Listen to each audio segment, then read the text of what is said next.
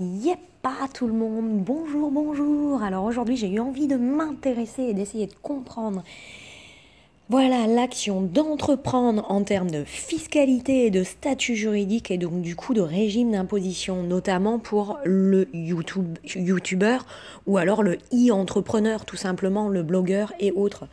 On, est vraiment en fait actuellement dans un courant d'innovation et euh, on subit, on vit, euh, on profite en fait de l'ère de la transformation autour de, de, nos métiers. Il y a plein de nouveaux métiers euh, réalisés à temps complet ou à temps partiel, c'est-à-dire complémentaires, qui émergent comme les activités de youtubeurs, de blogueurs, de web marketeurs, etc., etc. Il y en a plein.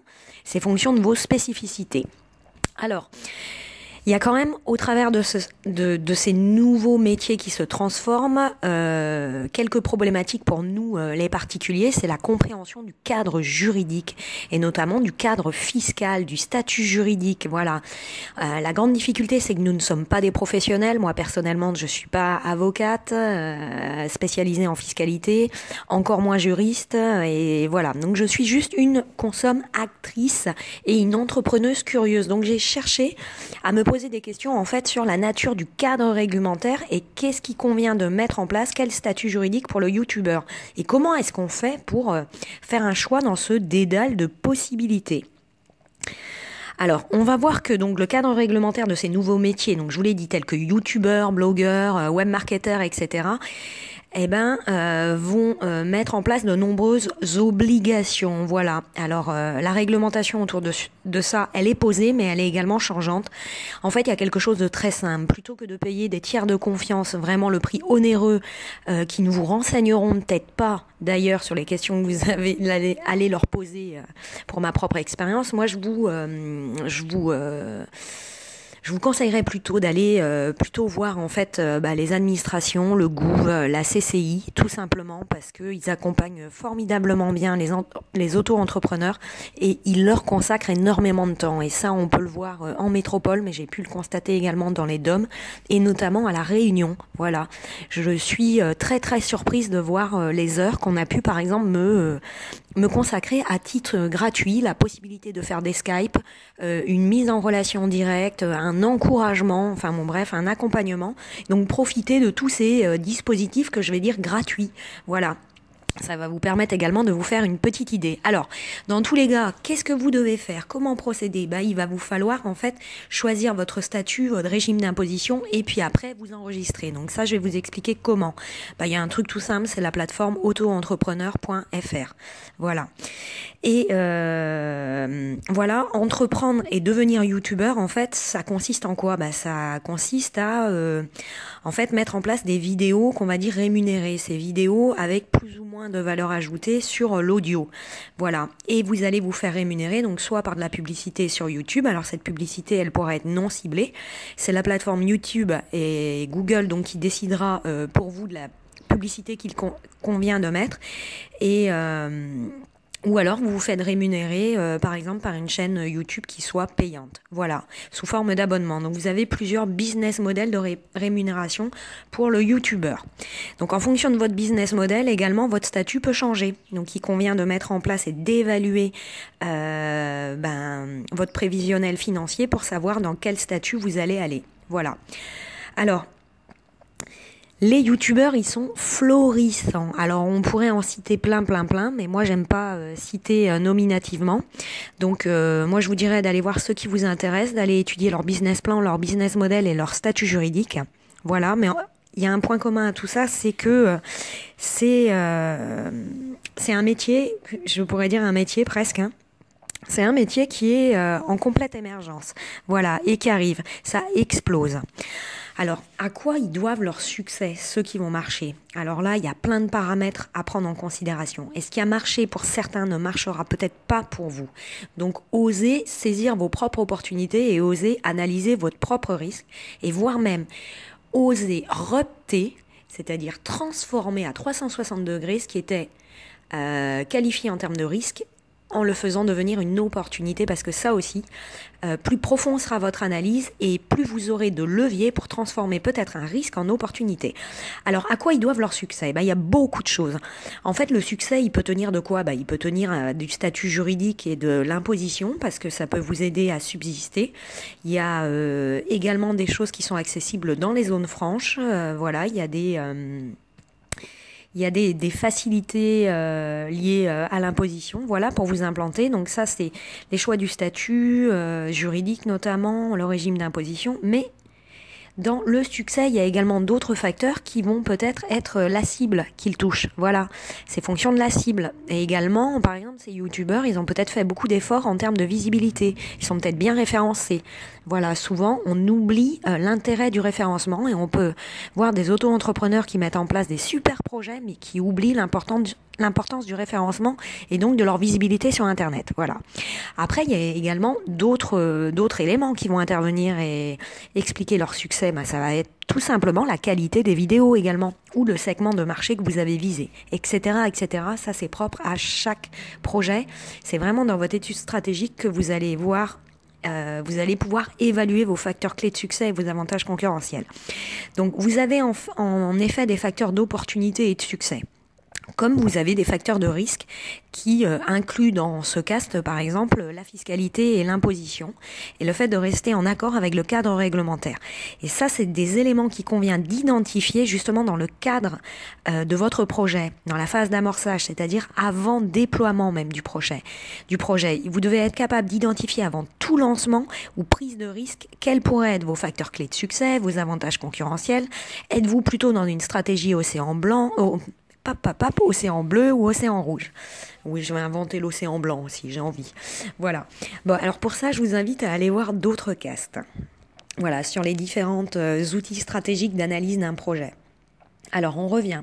Donc en termes de business plan, donc en fait c'est l'étude de votre business plan et notamment de votre business model qui peut également vous aiguiller sur en fait le euh, statut juridique qui va euh, convenir de mettre en place et le régime d'imposition. Pourquoi?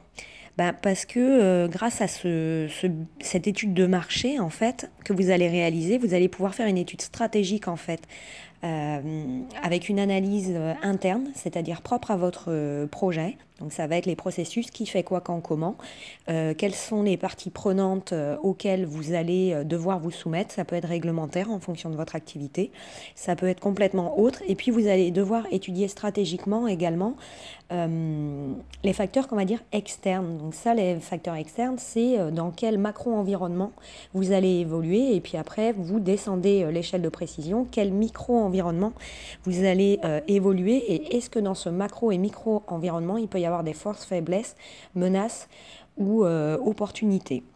Donc voilà, un business model et un business plan, vous devrez le mettre en place de façon à avoir une étude, on va dire, semi-quantitative et prévisionnelle de votre projet. Et c'est l'ensemble de ces outils qui vous permettra justement de préciser le choix du statut juridique qu'il vous conviendra d'appliquer, justement pour répondre aux obligations réglementaires et également, bien sûr, aux besoins de votre projet. Voilà. Et au regard de vos prévisions financières, c'est-à-dire votre business model et votre business plan de votre projet, vous pourrez effectivement orienter votre décision de statut juridique. Voilà. Alors comment vous allez procéder? Alors si vous exercez une activité, vous devez honorer le paiement de ce qu'on appelle des cotisations sociales. Donc c'est des cotisations à des caisses retraite, vieillesse, assurance maladie, santé, etc. Donc ça, ça va dépendre euh, des caisses RSI et APAV. Alors, normalement, pour faciliter justement euh, la mise en place du statut auto-entrepreneur, pardon, le législateur, lui, il a essayé de mettre en, place, comment on va dire, une vitrine et des portails web en auto-entrepreneur sur lequel, en fait, vous pouvez directement déclarer et payer vos cotisations. Voilà. Donc, en ce sens, avant, c'était parfois un peu fastidieux de se retrouver, de de comprendre en fait toutes les possibilités de statuts multiples et justement d'honorer correctement ces cotisations qu'il ne fallait pas omettre. Alors pourquoi c'est fastidieux? Eh ben et comment faire pour faire le, le meilleur tri possible? C'est par exemple pour faire votre tri en fonction de toutes les possibilités. Voilà, moi je vais vous donner des éléments. Déjà, un, il va falloir que vous sachiez dire si vous êtes seul, vous fonctionnerez dans votre projet avec un associé, si vous souhaitez exercer en tant que personne physique ou alors en tant que personne morale. Est-ce que vous souhaitez être imposé à l'impôt sur le revenu ou à l'impôt sur la société? Est-ce que vous souhaitez être soumis au régime euh, réel normal, simplifié, etc., etc. Et puis, quel va être votre chiffre d'affaires ou vos bénéfices prévisionnels, etc., etc. Et avec tout ça, vous allez pouvoir orienter parmi les possibilités. Est-ce que je souhaite me mettre en micro-entreprise, en entreprise individuelle, en EURL, en SAS, en SARL, en SASU? Est-ce que je suis intéressé par le statut de portage salarial qui me nécessitera 50% de cotisation? Et par exemple, pour Google AdSense, on voit un paiement de 5 euros par mois pour euh, les virements par AdSense. Donc il y ça c'est des exemples, il y en a plein. Donc je vous laisse aller regarder par vous-même. Puis par exemple, si vous êtes demandeur d'emploi, vous avez d'autres possibilités aussi. Vous avez la possibilité de bénéficier de l'ACRE. C'est une aide, euh, c'est une aide en fait euh, aux chômeurs. Voilà. Et avec ça, ça va vous permettre de bénéficier de, euh, de taux forfaitaires, on va dire, minorés et avantageux. Si je reprends euh, un exemple, dans le cas du YouTuber, on a un statut qui revient euh, souvent, c'est le statut EIRL, c'est-à-dire entreprise individuelle à responsabilité limitée. En fait, c'est quoi statut? Si je devais faire une petite mise en parenthèse, ou je dirais un note à bene, en fait, l'EIRL, ça vise de quoi? Ça vise à séparer votre patrimoine professionnel du patrimoine personnel. Voilà, tout simplement. Donc vous protégez vos propres biens. Donc ça, ça va vous demander par exemple de faire une déclaration d'affectation en fait de votre patrimoine qui pourra en fait s'effectuer par exemple lors de votre immatriculation sur la plateforme en fait www.autoentrepreneur.fr. C'était un exemple, il y en a plein. Donc Allez, on reprend le cas de figure et l'exemple où vous percevez des revenus Google AdSense. Voilà, donc moi je vous invite à aller voir le site qui s'appelle www.assistantjuridique.fr, déclarer, déclarer ses revenus AdSense. Donc tout ça pour vous dire quoi? Vous avez la possibilité de déclarer euh, ses revenus par exemple en tant que particulier dans la section bénéfices non commerciaux. Mais ça, c'est à mon sens très risqué et je pense que euh, ça souligne peut-être un élément de fraude. Je ne suis pas une spécialiste, mais pourquoi je dis ça? Parce que même si aujourd'hui il y a une notion de plafond à ne pas dépasser, ben, euh, qui semble exister, moi j'ai quand même l'impression que la réponse juridique à ce sujet, elle n'est pas claire. À partir du moment où vous êtes un particulier et que vous avez des sources de revenus complémentaires, à mon sens, elles doivent être déclarées. Et si vous avez des revenus complémentaires, ça veut dire que vous devez cotiser à des caisses. Donc pour moi, je ne vois pas comment un particulier pourrait euh, déclarer ses revenus en bénéfices non commerciaux dans cette section de ses impôts. Enfin, rapprochez-vous de votre centre des impôts et faites très très attention au contrôle fiscal parce qu'il vous pourrait vous en coûter bien plus cher. Et si actuellement les gens cherchent à avoir des revenus complémentaires, c'est que bien souvent, ben, ils n'ont pas trop d'argent, justement. Ils en ont besoin pour subsister. Donc, si vous arrivez à gagner des revenus complémentaires, encadrez le risque et la gestion du risque autour de comment je conserve le maximum de ces revenus complémentaires qui vont m'aider à vivre. Donc pour ça, eh bien, euh, voilà, je me conforme au cadre réglementaire. Donc, pour encadrer, je vous l'ai dit, euh, les risques fiscaux et réglementaires, on va dire larges également, parce qu'attention, quand vous exercez une activité ou un site, vous avez, euh, vous êtes youtubeur ou vous avez un site web, il faut faire attention. Vous avez beaucoup de choses à connaître. Par exemple, la protection des données personnelles avec des déclarations de NIL à mettre en place ou les notions de propriété intellectuelle. Donc, exercer une activité, même s'il s'agit d'un e-business, il faut faire attention parce que ça présuppose de connaître pas mal de choses réglementairement et malheureusement, on est un particulier plus qu'un spécialiste en la matière. Donc c'est également l'objet un peu de mes castes. En vous faisant ces castes, je réfléchis sur un sujet et en fait je vous le restitue. Voilà, moi c'est un moyen de réflexion qui est collectif. Je n'ai pas la science infuse et je vous laisse même me recorriger après ou aller chercher votre bonne information ou l'information spécifique à votre besoin. Allez, voilà, ça c'était pour la parenthèse. Donc tout ce que je voulais vous dire, c'est n'exercer jamais sans cadre juridique réfléchi et adapté à votre activité. Alors voilà, pourquoi je dis ça? Parce qu'à mon avis, euh, si vous êtes BNC et particulier, il y a à mon sens un risque de contrôle fiscal. Mais rapprochez-vous du centre de, de votre centre d'impôt pour vous en assurer. Alors, il y a un autre point que je viens de souligner aussi, c'est qu'il vous faudra également distinguer en fait la notion de ce qu'on appelle le revenu salarié et complémentaire. Voilà, est-ce que vous êtes, euh, est-ce que vous complétez vos activités ou est-ce que euh, vous avez un revenu youtubeur qui soit exclusif? Voilà. Donc dans votre business plan, ne quittez jamais la zone de confort. Moi, c'est euh, autant pour moi, plutôt dans votre un rappel, euh, je dirais, bonne pratique. Moi, si j'avais un conseil à vous donner, je dirais que ne quittez pas votre zone de confort si vous avez un emploi salarié et que vous avez un projet de e-business. Moi, j'aurais tendance à vous conseiller de faire la transition progressive justement vers la création de votre activité e-business ou votre chaîne YouTube en vous mettant au préalable dans la conformité réglementaire et ça ça vous donnera le temps comme vous êtes salarié et que vous êtes sécurisé, bah, d'évaluer progressivement en fait toute la dimension de votre succès possible et de rebondir et de réadapter votre business model, voire même votre business plan, bah, s'il s'avère qu'effectivement c'est pas une source de revenus potentielle. Après, si vous voulez développer une activité YouTuber, il va falloir faire attention à quelque chose, c'est qu'une activité pour moi YouTube, elle va se euh, dérouler avec une phase en S si vous la représentez par euh, un graphique. Pourquoi en S? Parce que vous avez la phase où, à mon avis, vous allez avoir très très peu de vues. Et puis après, il y a euh, l'effet euh, domino et les ramifications. C'est-à-dire que une personne va communiquer à d'autres personnes et il va y avoir la réaction en chaîne. Et alors là, vous avez une inflexion de votre courbe en S. Donc, si vous y avez consacré du temps et beaucoup d'énergie à votre projet, ben euh, ne perdez pas espoir. voilà, tout peut exploser à un moment. Et ça, c'est vraiment la visibilité et le canal de communication que vous allez utiliser. Et puis, euh, avant de consacrer beaucoup d'énergie à une chaîne YouTube, essayez de vous assurer qu'effectivement, ça peut intéresser une cible potentielle.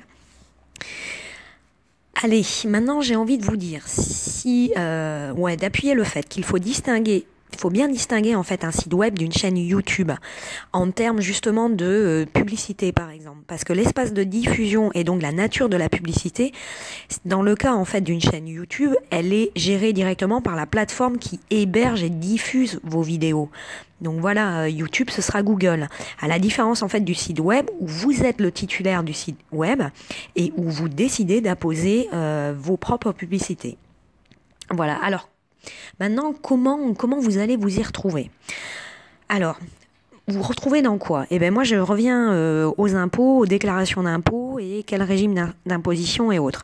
Donc en fait, si on regarde les déclarations d'impôts, on s'aperçoit qu'on a différentes sections. Donc dans les sections que j'ai pu observer, en fait, on va trouver quoi? Bah, Chez le particulier, une possibilité de déclarer des revenus exceptionnels ou différés. Voilà. On a également une possibilité, en fait, enfin, on a une section consacrée à la déclaration des plus-values et gains divers pour le particulier aussi. Puis, dans euh, les déclarations et les sections professionnelles, on va avoir une rubrique qui va concerner les revenus et les plus-values des professions non salariées. Et puis, vous pourrez aussi opter dans d'autres rubriques pour, par exemple, le versement libératoire de l'impôt sur le revenu. On en parlera tout à l'heure, où je vous invite à aller voir des castes qui sont consacrés essentiellement à ça. Puis vous avez également une rubrique revenus euh, industriels et euh,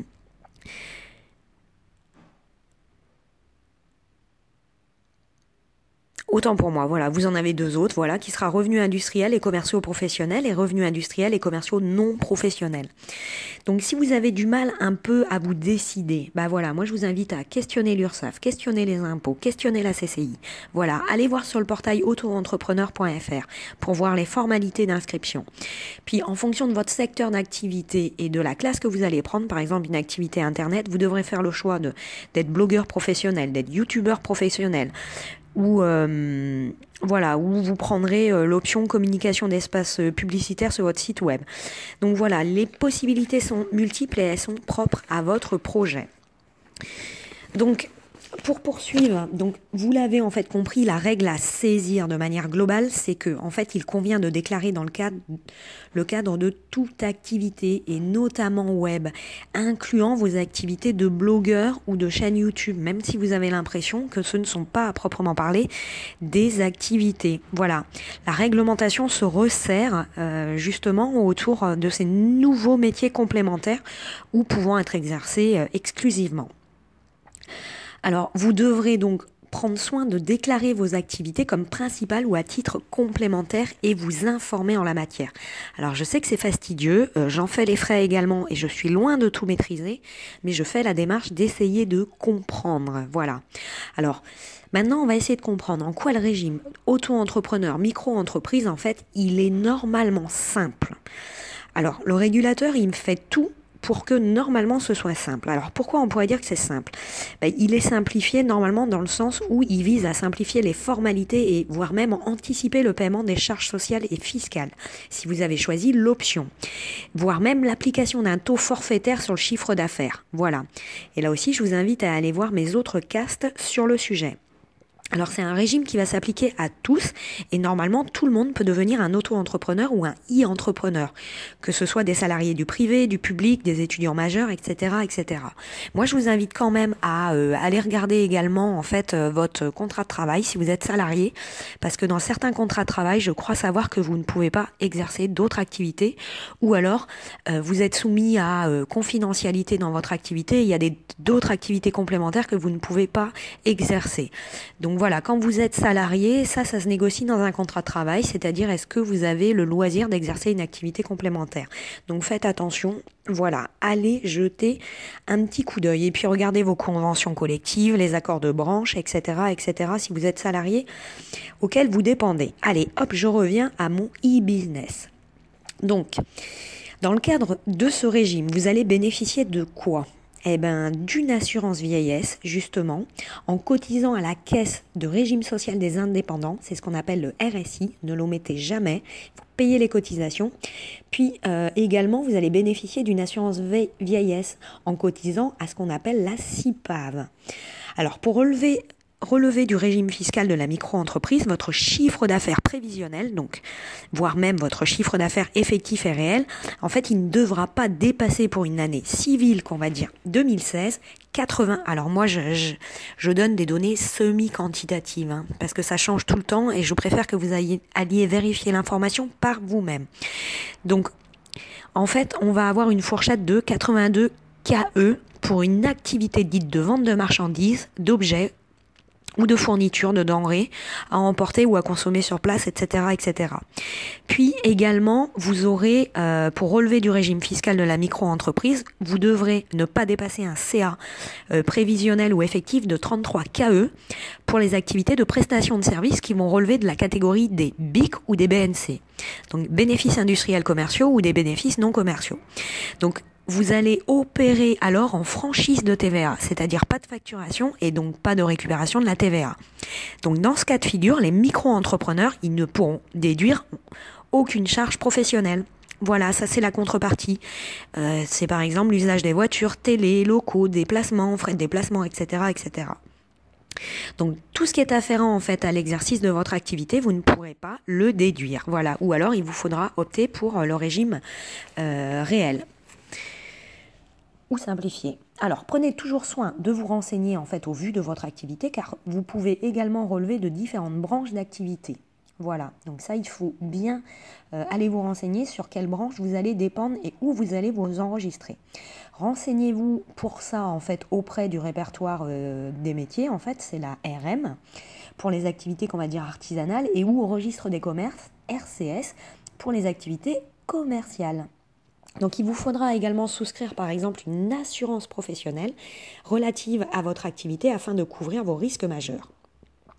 Il vous faudra aussi penser à l'ouverture d'un compte professionnel de façon à distinguer votre trésorerie professionnelle de personnel. Et oui, maintenant, c'est une obligation de distinguer sa comptabilité personnelle. Donc vous pourrez aussi euh, faire le choix d'opter, par exemple, euh, pour le versement libératoire de l'impôt sur le revenu, sous certaines conditions, si vous êtes euh, micro-entrepreneur. Dans ce cas de figure, vous ne devrez pas dépasser 26 KE par part de quotient familial donc pour une personne seule, bon, ça c'était les données euh, qui datent, euh, voilà, des données de 2014. Moi, je vous laisse aller voir si ça a beaucoup bougé ou pas en 2016. À mon sens, peut-être pas, mais allez voir par vous-même. Donc après, si vous souhaitez justement avoir euh, opté pour le versement libératoire de l'impôt sur le revenu, il vous faudra ne pas dépasser 53 kg euros par part de quotient familial pour un couple, puis il ne, vous faudra pas dépasser 80 KE par part de quotient familial pour un couple, cette fois-ci avec deux enfants. Donc ça, voilà, c'est des conditions à respecter. Donc pour revenir sur le versement libératoire, il sera calculé en fait en appliquant un taux spécifique sur le chiffre d'affaires ou vos recettes, c'est-à-dire 1% pour les ventes, 1,70% pour les les prestations de type BIC ou 2,20% pour les prestations BNC, donc bénéfices non commerciaux. Et ces versements, ils pourront ou seront payés, par exemple, en même temps que les cotisations sociales, ce qui devrait vous faciliter les choses. Et au moment euh, de votre adhésion, c'est-à-dire sur la plateforme www.lautoentrepreneur.fr, et, ben, et également euh, vous pouvez vous adresser au centre de formalité des, entreprises, le SFE, en fonction de votre activité. Donc vous pourrez en fait au moment de votre adhésion choisir de déclarer et de payer l'impôt euh, sur le revenu soit mensuellement ou trimestriellement. Voilà. Maintenant, si je revenais en termes de bonnes pratiques et je devais faire un conseil en termes de bonnes pratiques, c'est n'omettez jamais de déclarer votre activité même si vous avez un chiffre d'affaires de zéro. Voilà, parce que vous restez redevable du paiement de vos cotisations sociales. Donc même si c'est zéro, euh, prenez le temps d'indiquer zéro dans, dans les cases. Voilà. Allez, maintenant, euh, je vais passer en fait à une. On a vu euh, tout ce qui était versement libératoire. Et maintenant, on va s'intéresser en fait euh, au taux forfaitaire. Qu'est-ce que le taux forfaitaire? Alors, les taux forfaitaires, en fait, ils vont concerner euh, pas mal d'éléments. Ils vont concerner les, cotisations assurance maladie, maternité, les indemnités journalières en cas d'accident de travail, arrêt maladie. Ils vont euh, concerner la CSG, la CRDS. Euh, les allocations euh, familiales, les caisses de retraite de base euh, ou alors complémentaires, obligatoires, les régimes d'invalidité et de santé, les CFP, c'est ce que je vous ai dit, la contribution à la formation professionnelle, la taxe également pour, par exemple, des frais d'enregistrement à la Chambre des commerces et d'industrie, et là aussi, si je devais faire une petite rappel aux, bonnes pratiques, moi j'ai envie de vous dire que pour bien encadrer votre risque, par exemple maladie et invalidité, donc qui est normalement pris en charge par le régime obligatoire, moi je vous invite à vérifier par vous-même en fait si vous avez besoin d'une couverture complémentaire et si cette couverture elle n'est pas à privilégier. Voilà.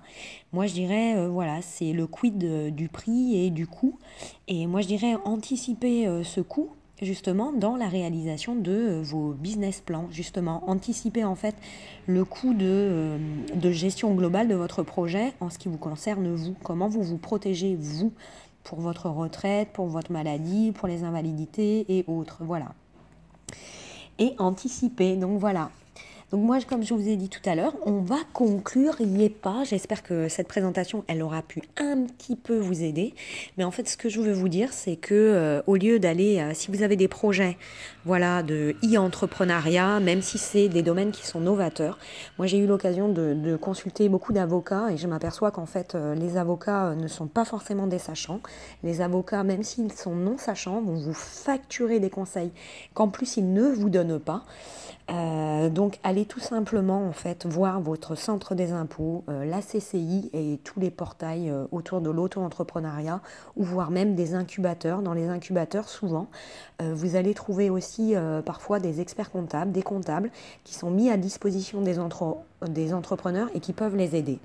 Par exemple, si je regarde un peu la, CCI de, de, La Réunion, par exemple, la CCIR, on s'aperçoit qu'à la CCIR, peut-être même comme ailleurs, ça je l'avais jamais vu, vous pouvez bénéficier d'aide juridique et d'avocats. Voilà, il vous suffit de prendre des rendez-vous et on peut vous allouer un petit peu de temps et normalement ça c'est gratuit.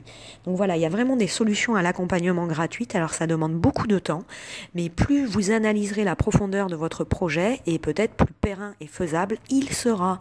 Et moi je vous dis, y est pas, osez entreprendre, osez la créativité, osez créer la valeur ajoutée et osez créer une valeur ajoutée également dans le sens de nos générations futures. Voilà. Même si pour nous la vie actuellement elle est difficile, c'est pas pour rien que les gens au jour d'aujourd'hui euh, entrevoient des revenus euh, complémentaires. C'est parce qu'on a beaucoup de mal à subsister, on a beaucoup de mal à voilà à payer nos loyers et à survivre. Donc on pense des solutions qui pourraient nous sortir un peu, je dirais, de euh, cette précarité. Donc ça, c'est quelque chose, euh, voilà, qui est commun à beaucoup de gens. Mais on a un outil qui est formidable, c'est Internet. Donc sur Internet, ça foisonne euh, de possibilités et de solutions. Comme moi, j'ai pas la science infuse, rapprochez-vous de spécialistes dans la matière ou tout simplement sollicitez vos impôts, la CCI, ou voilà, essayez de vous faire votre réseau. Donc voilà, je vous dis, y pas, y pas bonne chance, y pas, prenez soin de vous et y pas, réalisez vos rêves. À bientôt, en espérant vous avoir donné envie de les concrétiser. Y pas, le meilleur. Bisous.